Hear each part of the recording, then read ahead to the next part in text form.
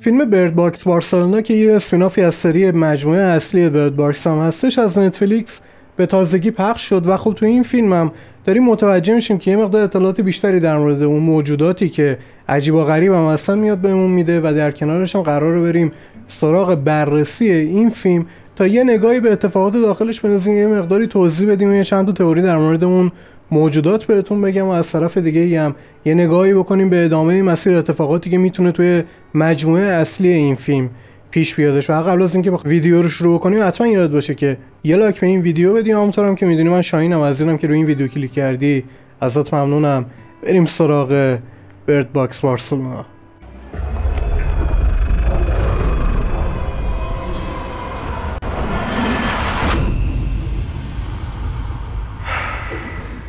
وقتی که اولین شماره این مجموعه شروع به پخش کردن کرد خیلی بودن که نقده منفی و مثبت زیادی به این فیلم زدن. یعنی یه طوری بودش که یه سری باش حال کرده بودن یه سری دیگه اصلا با این مجموعه حال نکرده بودن گفته بودن یه سبک تکراری داره. ولی هر چیزی که بودش با اون ایده ای که اومدش و مطرحه باعث شد که خیلی بهش جذب بشن و کلی از اون چالش های مسخره برد باکسی توی ساعت دنیا پر شده بود که مردم چشاشون میبستن این طرف اون طرف می‌رفتن و خب دردسرای زیادی هم درست کرده بودن و این باعث شدش که بیشتر هم این فیلم محبوبیت پیدا بکنه. حالا توی قسمت اول داشتیم ما ساندرو بلاک رو می‌دیدیم که حالا داره تلاش می‌کنه برای بقا و زنده موندن. توی این قسمت اومده یه مقدار داستان متفاوت کرده. داره به ما سباسیانی رو نشون میده که با اون موجودات همکاری می‌کنه. ماریو بازیگر خیلی خوبیه. خیلی خوب می‌تونه قسمت تاریک و دارک خودش رو به تصویر بکش و اینجا داریم می‌بینیم که خیلی خوب تو این نقش بازی می‌کنه. و نکته که در موردش وجود داره اینه که این فرقه که داریم اینجا می‌بینیم قبلا تو مجموعه اصلی هم دیده بودیم. اون فرقه بودش که مردم می‌گفتن به زور چششون رو وا می‌کردن تا اون موجودات رو ببینن. و خب اتفاقی که میافتادش اینطوری بودش که دو تا حالت بیشتر پیش نمیومد یا اینکه اون موجودات رو می‌دیدن دخلشون میومد یا اینکه وقتی که اون موجودات رو می‌دیدن اتفاقی براشون پیش نمیومد و اینطوری بودش که عضوی از اون فرقه می‌شدن مثل آدمایی که اینجا داریم می‌بینیم مثل اتفاقی که داره برای سباستیان میفته اولین چیزی که تو این فیلم خیلی به چشم میادش اعتقادات و عقاید مذهبیه که داریم اینجا. اینیم خود سباسیان هم می‌بینید که آدم مذهبیه و وقتی که داره حالا اون به اصطلاح روح دخترش رو می‌بینه فکر می‌کنه که اون به یه درجه بالاتری رسیده و اینطوریه که اون روح دخترش که داره راهنماییش می‌کنه هرچند که جلوتر متوجه میشیم اینا همه بازیاییه که اون موجودات دارن باش انجام میدن. مطمئنا اولین سوالی که بعد از دیدن این فیلم تو ذهن همه تشکیل میشه اینه که این موجودات اصلا چی هن؟ حالا توی فیلم این صحبت از موجودات کوانتومی میشه که دارن اونا رو حالا به ما اینجا نشون میدن. ولی اگه بخوایم یه مقداری بیشتر بهش نگاه بکنیم این موضوع شبیه به داستان گربه شرودینگر میشه. ما اینو در موردش می‌دونیم که توی اون آزمایش کاری که میان انجام میدن یه گربه رو می‌ذارن توی یه جعبه. اونجا هم یه سری مواد شیمیایی و مواد رادیواکتیوی می‌ذارن. و وقتی که خب این گربه تو این جعبه است ما مطلع نمیشیم که چه اتفاقی داره براش میفته. اون توی یه جعبه است. ممکنه که دو تا حالت پیش بیادش. یکی اینه که هیچ اتفاقی براش نمیفته تو اون اتفاقاتی که اونجا داره پیش میادش و زنده میمونه دومین تئوری اینه که خب میمیره. و تا وقتی که در جعبه رو مور نداریم متوجه نمیشیم گربه زنده است یا مرده. این موجوداتی که تو این فیلم هم داریم می‌بینیم دقیقا همینطوری یعنی تا وقتی که اونا رو نبینیم متوجه نمیشیم که اونا چی و اصلا انگار شکل فیزیکی خاصی هم ندارن قبلش و وقتی که کسی اونا رو نگاه می‌کنه تازه یه شکلی به خودشون می‌گیرن. سباسیان به خاطر اعتقادات مذهبی که داره میگه این موجوداتی که ما داریم می‌بینیم در اصل اون فرشته های سرافینی که اومدن اینجا دارن خودشون نشون میدن. شاید براتون سوال باشه اصلا این فرشته ها چیه داستانشون؟ این فرشته ها جز بالاترین رده های فرشته ها به حساب میان که 6 تا بال دارن. دو تا بالشون همیشه سمت صورتشون و دو تا بال برای پرواز کردن دارن و دو تا بال هم نزدیک پاهای اوناست و خب درجه خیلی بالاتری نسبت فرشته های معمولی دارن و به خدا نزدیکترن.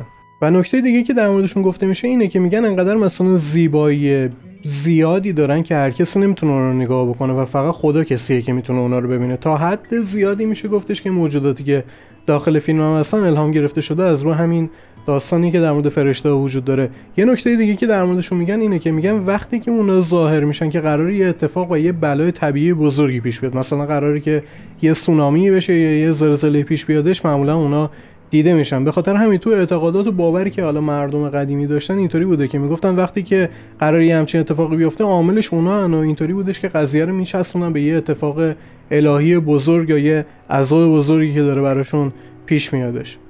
روند داستانی که توی فیلم وجود داره و اینکه می‌بینید هر کسی که وقتی که اون موجودات رو می‌بینه و اون روحشون یا انرژی که هستن ازشون جدا میشه و سمت آسمون میره این موضوع رو بیشتر به سمت عقاید مذهبی بازش می‌کنه و می‌بینیم که تمام آدما اون فرقایی که اونجا هستن آدمای افراطی که داره به نشون میدن همه معتقدن که این اتفاقی که داره میفته اتفاق الهیه. ولی خب هر جوری هم بخوایم این قضیه نگاه بکنیم این موجودات هر چیزی که هستن فرشته نیستن. این موجودات قدرت دستکاری و ساخت توهم برای اینکه بتونن مردم رو به سمت خودشون بکشن و فریبشون بدن و دارن. و داره نشون میده که هر کسی اونا رو یه مدلی می‌بینه. یعنی از دیدگاه هر کسی که داره نگاهشون می‌کنه اونا یه شکل خاصی به خودشون می‌گیرن. اگه به یه اتفاق دیگه داخل فیلم دقت کرده باشید اونم اینه که این موجودات می‌تونن به اون خاطرات ها دیدگاه ها و عقاید پنهانی که یه نفر داره دسترسی داشته باشن. یعنی اون رازای نهانی که توی ذهن اون طرف مقابل هستش کاملا آگاهن و اینطوریه که میان از اون چیزهایی که درون طرف وجود داره استفاده می‌کنن تا بتونن اونا رو خیلی راحتتر فریبشون بدن. ممکنه که این موجوداتی که داریم می‌بینیم موجودات بین بودی باشن. به خاطر اینکه دارید نگاه می‌کنید هیچ ارتباط فیزیکی با کسی برقرار نمی‌کنن. یعنی هیچ تعامل فیزیکی ندارن و فقط در صورتی میشه اونا رو دید که وقتی حالا اونا چشاشون رو وا می‌کنن و اونا رو تماشا می‌کنن یه شکل و یه ساختاری به خودشون می‌گیرن. چشم جز نمادای اصلیه که تو این فیلم وجود داره. چون می‌دونید که چشم به عنوان یه دروازه هم همیشه توصیفش می‌کنن و نکته مهمتری که در مورد چشم وجود داره اینه که دارید می‌بینید در طول فیلم جاهایی هست که یه علامت چشم کشیدن و داره اشاره می‌کنه به همون چشم سوم. چشم سوم می‌دونید که روی پیشونی هم باز میشه و معمولا هم وقتی میگن طرف چشم سوم داره یعنی می‌تونه چیزی رو ببینه می‌تونه جایی رو درک بکنه که ما با چشم عادیمون نمی‌تونیم ببینیم اونو درکش بکنیم. یعنی همون نگاه کردن به یه بعد دیگر رو می‌تونه به ما برسونه. پس ممکنه که همچین اتفاقی اینجا توی فیلم هم جریان داشته باشه که هی به این موضوع چشم سوم داره اشاره می‌کنه. حالا اگه نگاه بکنید وقتی که کسی میمیره اون روحش یا بهتر بگیم اون انرژی که داره ازش جدا میشه و میره سمت آسمون. اگه بخوایم اون داستان بین بودی ها رو نگاه بکنیم اگه بخوایم به این نگاه بکنیم که امکان داره بودی که وجود داره مخالف ما باشه اینطوریه که اگه روح اینجا جدا میشه به سمت بالا حرکت می‌کنه شاید از این بالا رفتنه میره وارد اون بود دیگه میشه جایی که اون موجودات جسم فیزیکی خودشونو نگه میدارن. و اینطوریه که از اون انرژی که آدمو دارن حالا اون موجودیتی که داره ازشون خارج میشه شاید میان و تغذیه می‌کنن. و اینطوریه که دارن از موجودات زنده و بشریت استفاده می‌کنن و خب یه تئوری ساده تری که مطمئنا توی ذهن همه میادش اینه که اونا یه سری موجودات فضایی و اینطوریه که خیلی راحت دارن از انرژی که تو وجود انسان ها هستش یعنی همون روحی که دارن تغذیه می‌کنن و این روح هم که حرکت می‌کنه میره سمت بالا خب داره میره سمت حتما یه سفینه که اونا اونجا نگه داشتن.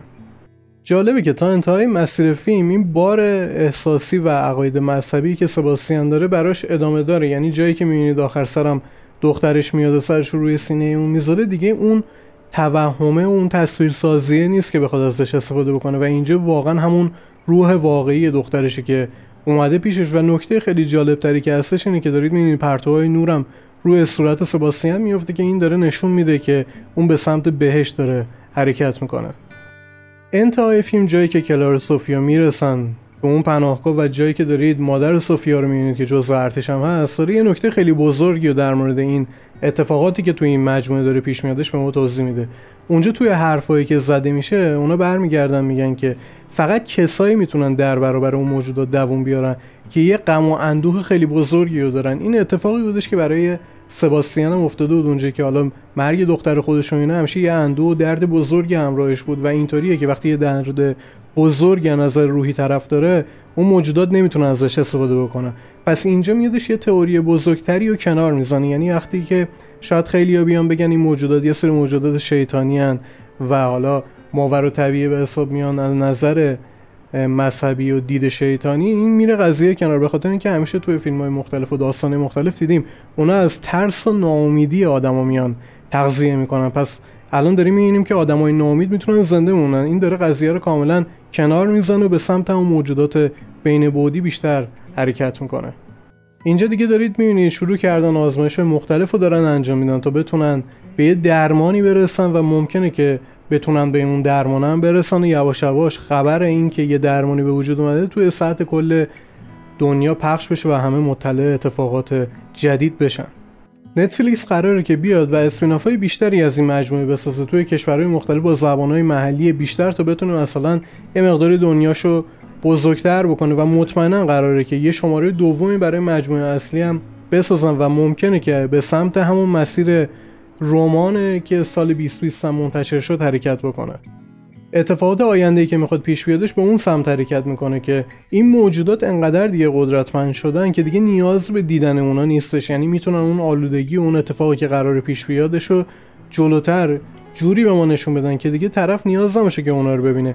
این اتفاقات و شروعش همه از جایی میفته که یه زنی که نابینا هم هستش به اون اتفاقات و آلودگی که اون موجودات می‌سازن می‌رسه و درگیری براش به وجود میادش. و اینطوریه که داره نشون میده که می‌خواد فیلم و اتفاقاتی که داره داستانش یه پله بالاتر حرکت بکنه که به اون نشون بده به این راحتی هم نمیشه دست این موجودات فرار کرد. در مجموع در مورد این فیلم باید بهتون بگم که فیلمش با اون ایده جدیدی که داشت داره سعی می‌کرد یه مقداری شبیه به قسمت اولیه خودش و اصلی خودش حرکت بکنه و خب یه سری ایده جدیدم برای خودش پیاده کرده بود که یه دیدگاه متفاوت و یه نگاه متفاوتی از یه شخصیت توی اون دنیا به اون نشون بده.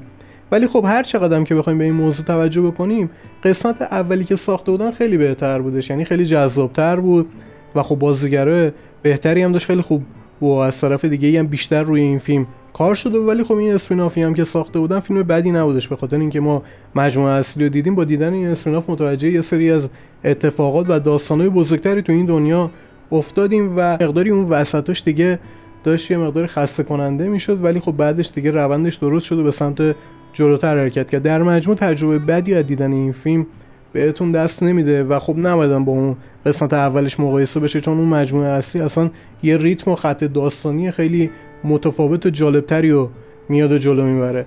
و فکر کنم یه امتیاز 6 از برای این فیلم منصفانه باشه. امیدوارم که شما دیدن این ویدیو لذت برده باشه. اگه نکته متوجه شدی من توی ویدیو نگفتم حتما داخل کامنت ها برام بنویس. لایک و sub و زنگوله رو یاد نره. فعالش بکنید اینطوری می‌تونی به محتوای جدید راحتتر دسترسی داشته باشی. بیای توی کانال و ویدیو جدید رو تماشا کن. و ویدیو بررسی تمام اطلاعات جدیدی که از ددپول سم بیرون اومدن براتون می‌ذارم اینجا که می‌تونی کلیک بکنی بری این ویدیو رو هم تماشا کنی و در مجموع دیگه حرفی هم نمیمونه. تا ویدیو بعد. بدرود.